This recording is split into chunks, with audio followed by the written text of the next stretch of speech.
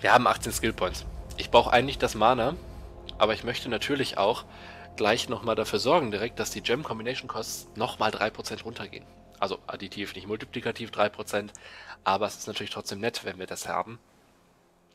Allerdings möchte ich lieber das Mana mitnehmen. Gerade jetzt, wenn wir einen Wizard Tower haben, brauchen wir natürlich am besten Gems, die von Anfang an auf die Logs mit drauf schießen. Wir haben Chain Hit und Suppressing, das gefällt mir gut. Ich mag es immer, wenn wir Chain Hit dabei haben. Ähm, ich würde die extra 7 Waves nehmen. In diesem Fall ist das nämlich doppelt von Vorteil, denn 7 Waves mehr bedeutet, wir haben auch 7 Waves länger Zeit, um den Wizard Tower freizuschalten. Und das möchte ich gerne ausnutzen. Zumal die XP-Multiplikatoren natürlich wunderbar sind. Und diesmal Level 2 bis 23 als Drop Rarity Range für die Fragmente. Also ein Level 1er Fragment können wir schon mal nicht finden. Ich hätte allgemein gern überhaupt nochmal ein Fragment. Wir haben doch recht viel Pech gehabt jetzt zwischendurch, habe ich das Gefühl. Ich weiß nicht, wie hoch die Drop-Chance ist, aber ich habe das Gefühl gehabt, dass man die sonst, früh, äh, sonst häufiger gefunden hat. Hier steht nochmal, wie man Gembombs wirft. Das meiste wissen wir. Was allerdings neu für uns ist, ist, ähm, dass wir, also zwei Sachen eigentlich. Einmal, wir können unsere eigenen Gebäude, also zum Beispiel auch Türme, äh, mit Gembombs vernichten. Wenn die also aus irgendeinem Grund im Weg stehen oder ähnliches, können wir die so vernichten. Auf manchen Maps ist das so, dass die von Anfang an ja da stehen, die Türme, und vielleicht möchten wir das nicht. Äh, oder auch Wände, die wir nicht da haben wollen, das können wir entsprechend damit vernichten. Und das Rapid Gem Bombing mit Mana ist auch neu. Da können wir nämlich, wenn wir B drücken oder halt auf den Gem Drop Knopf drücken, dann Shift gedrückt halten, dann können wir einfach ganz normal den ersten, den wir haben, als Prototyp benutzen.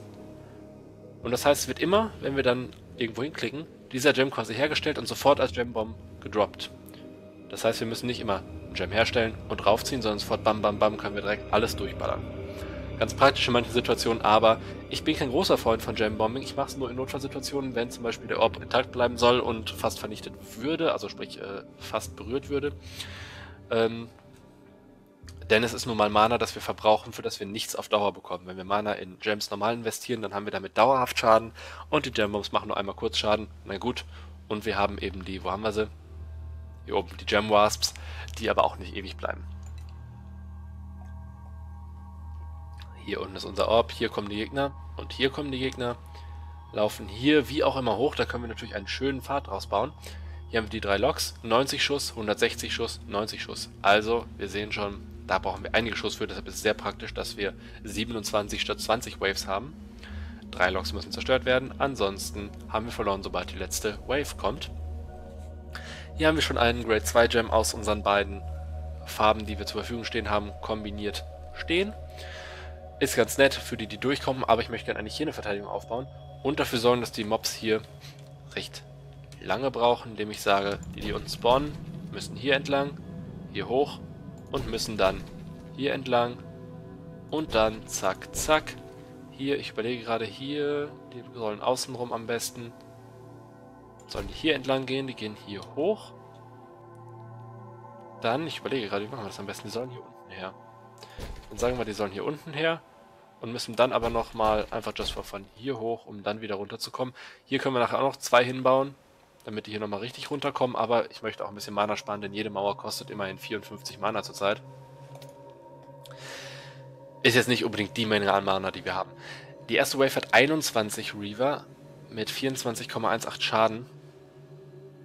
Ich würde trotzdem auf den Level 2 Gem gehen und mit einem Einer nochmal amplifyen und noch einen Einer daneben setzen. Wir gehen auf Chain Hits. Durch den Amplifier können wir die Chain Hit Länge natürlich enorm verlängern. Also was heißt enorm, aber recht schnell verlängern. Was einfach den Vorteil hat, dass wir noch mehr Creeps treffen mit einem Schuss. Und ähm, das möchte ich mir wirklich nicht entgehen lassen. Es ist einfach sehr praktisch. Ich upgrade den hier nochmal. Na, okay. Ich upgrade ihn nicht. Ich dachte, ich hätte so langsam mal genug Mana. Der Schaden ist nicht so toll. Also machen wir hier ganz schnell das Upgrade drauf, damit der mit drauf schießen kann. Wenn die Creeps jetzt hier vorbeilaufen, ist es nicht schlimm. Die kommen jetzt gleich von oben nochmal in die Range rein. Können sie gar nicht anders. Ähm, dafür haben wir ja gesorgt. Und bekommen da nochmal ein bisschen Schaden ab. Die kommen schon nicht durch. Jetzt haben wir auch an den ersten Stufe 3. Ab jetzt sind wir, würde ich sagen, in der Safe Zone. Wir verdienen jetzt, denke ich, ganz gut Mana, ohne die ganze Zeit Schmerzen dabei zu bekommen. Ähm, ja, ich hatte kurz Angst, dass der eine es überleben würde, aber es hat wunderbar gepasst. Den hier machen wir direkt mal auf Level 4, sobald wir können. Jawohl. Ihr seht schon, ich nutze jetzt doch sehr oft das Auto-Upgrade-Feature, da ich eh hauptsächlich mit reinen Gems arbeite und sie nicht kreuze. Ähm, ist das auch ganz praktisch, weil ich dann nicht immer so viele Klicks habe. Und man sieht ja doch ganz gut, wann ich es mache und was ich mache, zumal ich es ja meistens noch ansage. Also passt das schon.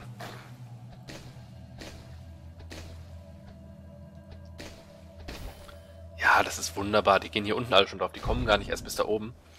Ich möchte jetzt aber die Chain-Hit-Länge noch ein bisschen erhöhen. Wir haben hier 1,43. Jetzt auch 1,43. Davon haben wir 0,02 tatsächlich nur, die von diesem äh, Amplifier kommen. Aber auch den upgraden wir. Und aus 1,41 bzw. 1,43 wird jetzt 1,45. Das heißt, wir treffen 0,04 Gegner mehr pro Schuss. Ist tatsächlich nicht so viel, wie ich erwartet hatte. Aber auch nicht weiter dramatisch. Ähm wir upgraden den nochmal. Mal sehen, wie viel es jetzt sind. Ja, immer noch 0,05. Das ist nicht so fantastisch. Liegt aber einfach auch daran, dass es natürlich nur ein Amplifier ist für zwei Tower. Das ist einfach nicht die Masse, die man bräuchte, um jetzt hier einen riesen, äh, einen Riesenboost zu erwarten. Wenn wir jetzt wollen, dass der zig Monster trifft, dann stellen wir natürlich einen Turm auf und packen da mal eben so, ja, unsere acht oder wie viel auch immer äh, Türme drumherum. Wir müssten ja theoretisch, ja doch, theoretisch müssten da acht drankommen können. Ja. Ähm, genau, die müssen sich natürlich berühren, also nur berührte Tower werden oder auch Fallen eben werden verstärkt. Aber das wussten wir ja schon. Hier kommt das erste Mal außerhalb des Endurance Modes eine Welle von Giganten, also von Bossen. Und mir fällt gerade auf, ich habe mich noch gar nicht um die Loks gekümmert. Ich bin auch ein Vollidiot. Dafür nutzen wir natürlich auch die Chain Hits. In der Hoffnung, dass tatsächlich auch dabei Chain Hits als, Entschuldigung, als solche zählen. Das scheint aber nicht der Fall zu sein, sondern dann müssen wir doch einen Chain Hit haben. Oder? Habe ich falsch geschaut? Nee. Scheint nicht zu klappen. Ich baue hier zack, zack, zack, Türme drumherum, mache 1, 2, 3. Es gibt die Anzahl der Schüsse, nicht um den Schaden. Natürlich schießt der eine schneller als die anderen, aber 3 Level 1er bedeutet 0,66 mal 3 Schuss pro Sekunde, der macht 1,08 Schuss. Das heißt, die drei sind zusammen schneller als der eine. Der Bildschirm hat gerade kurz geflackert. Heißt das was? Oder nicht? Manchmal kommen nämlich auch gewisse Ereignisse im Level, die uns etwas bringen. Aber ich glaube, in diesem Fall haben wir vielleicht einfach nur einen Boss besiegt. Ich weiß es gar nicht. Nein.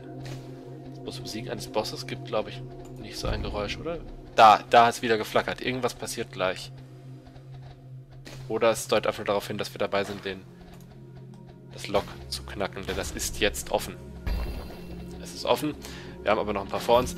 Ich upgrade hier mal eben, denn die Bosse kommen hier gleich an und äh, das tut sonst sehr weh, wenn die jetzt da durchkommen. Denn die bekommen noch nicht genug Schaden. Die Bosse haben 1200 Leben und bekommen pro Treffer nur um die 100, 150 Schaden. Das heißt, sie brauchen immer noch einige Schuss, die sie abbekommen müssen. Man sieht das hier ganz gut an diesem Boss, den ich jetzt mal kurz anvisiere, damit er schnell stirbt. Wunderbar. Die anderen sind gerade außerhalb der Range, werden aber auch gleich wieder reinkommen. Ich nutze die Zeit nochmal eben kurz. Nein, ich nutze sie nicht für ein Upgrade, denn das ist zu teuer. 2200 kostet es zurzeit einen Grade 5 Gem herzustellen. Und dazu natürlich noch 102 Kombinationskosten, wenn wir den hier einfach in sich upgraden wollen. Wir sind am letzten Lock. Das heißt, wenn es tatsächlich sogar in den 20 Waves, trotz meines äh, kleinen Fehlers zu Beginn, geschafft.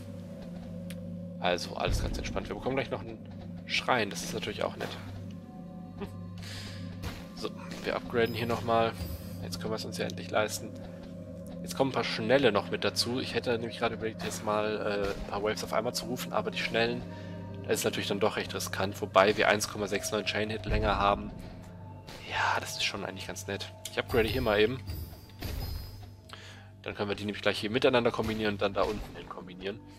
So können wir hier das Optimale rausholen, denn der Wizard Tower ist jetzt bereits freigeschaltet. So schnell kann es gehen. Ich rufe trotzdem mal die nächsten Wellen rein. Wir haben hier den Shrine of Infection, den kennen wir auch schon. Das ist der, der wie die anderen auch Schaden zufügt. Ich denke mal, da der weiß geschrieben ist, das 1,35-fach, dass wir später mit einem Skill auch noch erhöhen können. Auf jeden Fall ist es auch noch so, dass er, weil er der Shrine of Infection ist, einen zusätzlichen Effekt hat, nämlich dass alle getroffenen Gegner von diesem Schrein automatisch für eine gewisse Zeit nicht mehr geheilt werden. Aha, wir bekommen gleich Stone Supply ein Spark, also wieder ein Effekt, der dann gilt. Und zwar kosten alle Gebäude 20% weniger Mana. Auch nett. Nichts, was wir gerade zwingend brauchen, denn wir haben ja schon die wichtigsten Gebäude. Trotzdem schadet es nicht, das zu haben.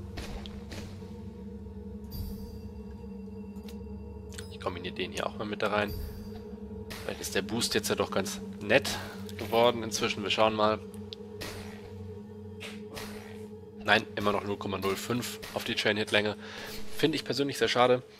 Ähm, klar, wir machen mehr Schaden, ne? Minimum Damage und Maximum Damage wurde erhöht.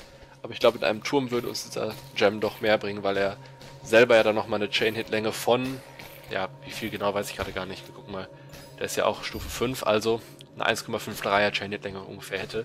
Und so bringt der zwei Türme jeweils 0,05, also quasi 0,1 als Chain-Hit-Länge. Da sind 1,53 Chain-Hit-Länge doch angemessener. Naja, wir werden diesen Level auch so überstehen. Ich würde jetzt auch tatsächlich mal ganz, ganz mutig oder dumm, wie man es jetzt nennen möchte, sein. Ich mach den hier. Ich habe ja gesagt, wenn wir mal ganze Langeweile haben... Ah, fünf auf einmal. Fünf Wellen. Gab uns auch noch ein Achievement. Es gibt für jeden Käse hier zum Glück Achievements, das macht das Ganze noch mal ein bisschen schöner irgendwie. Da blocke ich natürlich. Ich wollte das auch so machen gerade, das hatte ich ja noch am Anfang angekündigt. Und da die alle hier entlang müssen, würde ich sagen, stellen wir hier noch einen Turm mit auf. Packen da diesen Gem mit rein und upgraden den auch nochmal. Wir haben fünf Türme in einem Level gebaut. Auch das gibt uns netterweise nochmal ein Achievement. Und wir haben es geschafft, trotz der Tatsache, dass wir so viele Waves auf einmal herbeigerufen haben, vier Stück glaube ich auf einmal, haben wir den Level geschafft. Und ein paar neue Sachen haben wir freigeschaltet, denn wir haben ja einen Wizard Tower unlocked. 12.346 XP, 7 Shadow Cores und folgendes. Das Achievement Short Tempered, 5 Waves früh reingerufen, gibt uns einen Skillpunkt. Das Achievement Outpost, wir haben 5 Türme gebaut, gibt uns einen Skillpunkt. Wir haben ein neues Fragment, endlich mal. Rarity Level wieder 4, also wir haben nicht das Glück in die 20er reinzugehen. Trotzdem, wir machen gegen Bosse 3% mehr Schaden. Finde ich persönlich sehr geil. Je höher die Prozentzahl, desto geiler finde ich es natürlich. Aber 3% ist ein Anfang und wir haben ja einige Shadow Cores. Das heißt, wir können vielleicht sogar beide Upgrade-Level direkt machen und machen dann irgendwie um die 9% Schaden oder 10, ich weiß es gar nicht. Vielleicht auch nur 8. Ähm, wir schauen mal. Aber mehr Schaden auf Giants ist schon etwas, das mir sehr am Herzen liegt, denn die Giants machen uns sehr das Leben zur Hölle zwischendurch. Ähm, da müssen wir echt mal gucken, dass wir mit denen fertig werden. Wir haben zudem freigeschaltet Mana Lock, Battle Trade Scroll. Wir können also einen neuen Battle Trade äh, nutzen. Was der genau macht, sehen wir uns dann natürlich nachher an, wenn wir das nächste Mal ein Level starten. Wir haben das neue Hextil H und das Hextil M freigeschaltet, also neue Sechsecke. Ihr seht schon, so langsam haben wir einfach viele Optionen, welche Battle wir in welcher Reihenfolge machen möchten und werden garantiert irgendwann auch an unsere Grenzen stoßen und merken, wir müssen erstmal irgendwo anders noch leveln. Wir bekommen einen Token für das Feld H1 und für das Feld M1. Ist ja auch logisch, denn das sind die neuen Textile. Wenn wir dafür keine Tokens hätten, was würde es uns bringen, die Textile zu haben? Ein bisschen Story gibt es noch. Und zwar gab es eine Apparition. Ich meine auch so etwas gesehen zu haben. Der Bildschirm hat zwischendurch gewackelt. Und dieses Weiße, was man da in dem Buch sieht, ist eine Apparition, die fliegt manchmal über das ähm, Spielfeld. Und ähm, was die bringen, steht hier auch nochmal schön drin in dem Text. Und zwar ist eine Apparition äh, der Geist eines anderen, ja, mit uns quasi befreundeten oder auf unserer Seite stehenden äh, Zauberers, der von den Dämonen geschlachtet wurde, letztendlich, also sprich äh, getötet wurde und dadurch verdammt ist, für immer über die Welt zu streifen. Die möchten uns natürlich nichts Böses tun, die sind ja auf unserer Seite letztendlich, aber sie leiden natürlich, denn sie müssen für immer hier bleiben, obwohl sie tot sind. Das heißt, wir können ihre Misere beenden letztendlich, sie aus ihrem Leid befreien und bekommen dafür von denen noch ein paar Shadow Cores. Die bewegen sich, das heißt, die gehen einmal über die Map und sind dann wieder weg. Wir müssen in der Zeit also Türme in deren Nähe bauen oder ähnliches machen oder auch Gembombs droppen oder irgendwie versuchen, die zu zerstören. Das kann tricky sein, weil manchmal macht man das und dadurch verliert man dann den Kampf, weil man einfach das Mana im falschen Moment für diese Apparitions ausgegeben hat. Aber die geben, wie gesagt, einen netten Shadow Core Boost, den man schon auch nutzen kann. Ich habe ihn leider eben nicht gesehen, der ist mir durchgegangen. Ich habe kurz gesucht, aber ich habe ihn nicht gesehen. Irgendwo muss einer gewesen sein, sonst hätten wir jetzt nicht diese Seite wahrscheinlich bekommen für die Story. Wir gehen zur Karte zurück. Ich trinke nochmal schnell einen Schluck. Mein Hals ist sehr trocken, ich werde auch gleich mal eine Aufnahmepause machen. Hey nochmal Leute, Dankeschön fürs Ansehen des Videos. Ich würde mich freuen, wenn ihr mir einen Kommentar da lasst und gerne natürlich auch ein Abo, wenn ihr Bock habt. Twitter findet ihr in der Beschreibung und wenn ihr Bock habt, euch die gesamte Playlist von diesem Let's Play anzuschauen, dann klickt einfach aufs Bild, da ist sie verlinkt, da kann gar nicht mehr viel schief gehen. Ich freue mich, euch beim nächsten Mal wiederzusehen. Euer Jules.